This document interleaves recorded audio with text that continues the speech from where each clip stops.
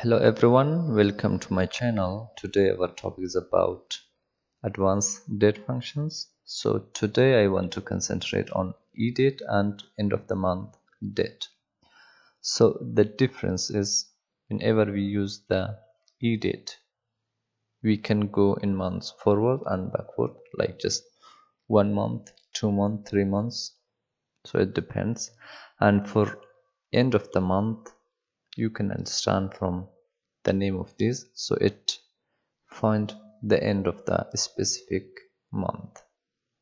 So here for example we have the order date and we have the due date.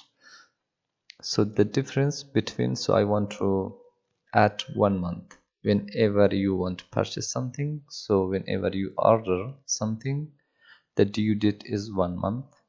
I use the edate function here equal sign.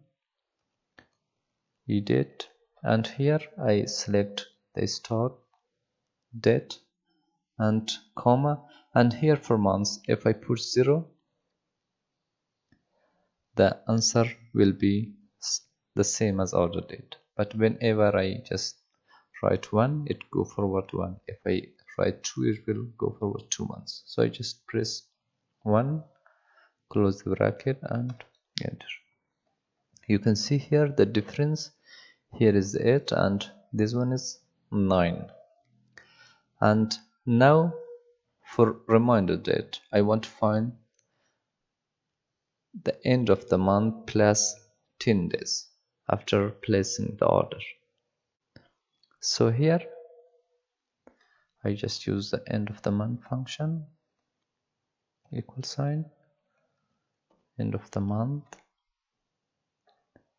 start date comma and here if I put 1 it goes end of next month. But if I put 0 it will be end of this month. 0 close the bracket and enter. So you can see these are the end of the month. So now here I have to add 10 working days. So I have another function here we have workday and workday international. You can select either of this so i just select this one. And here so this one is the start date. I just put comma here. I want to add 10 days. So after that i should add the weekends. You can see it depends the region you live you live. So that holidays are different. So here I choose the Saturday and Sunday which is 1 I just press 1 and comma. And here the holidays you can see I have the holidays here. I should make it absolute. Close the bracket and enter.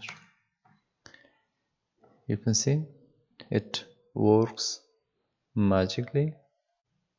As you can see here it's 14 and it's not 10 because we had 10 working days not just simple 10 days.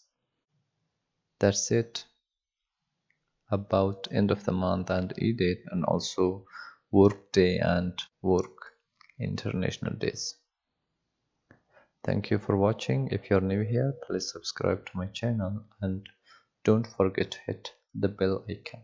Thank you so much.